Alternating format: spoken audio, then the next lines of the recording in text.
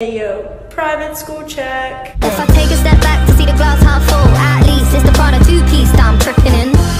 And I'm already acting like a dick, know me, I? So you might as well stick it. Just a heartbroken bitch, high heels, six inch in the back of the nightclub, sipping champagne. I don't trust any of these bitches I'm with in the back of the taxi, sniffing cocaine. Drunk calls, drunk